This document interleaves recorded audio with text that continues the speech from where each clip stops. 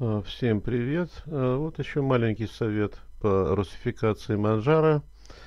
Иногда бывает, что после установки Манжара на русском языке а, вот название папочек на английском языке. Здесь тоже все на английском.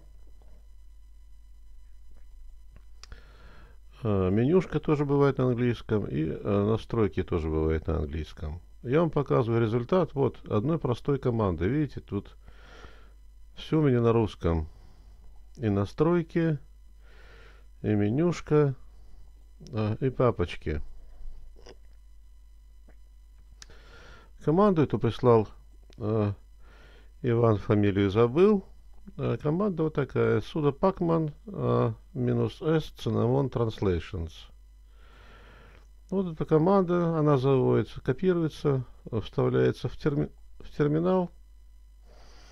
И, значит, там пару раз Enter нажмете, и все у вас будет нормально. Ну, еще единственное, что нужно сделать, всегда смотрите внимательно. А, вот здесь вот в менеджере пакетов обязательно, значит, вот э, здесь вот э, в настройках Сейчас а, единичку поставлю.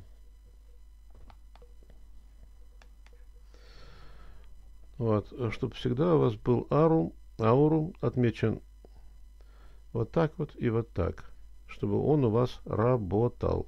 Потому что при установке он по, по умолчанию отключен. Включаете его, штука хорошая.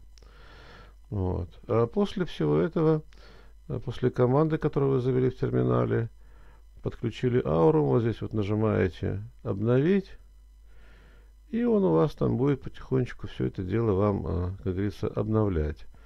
Вот. Ну, по крайней мере, э, тут уже достигается, ну, скажем так, я уж там до конца все не проверял, ну, довольно-таки очень хорошая э, русификация э, Манджара.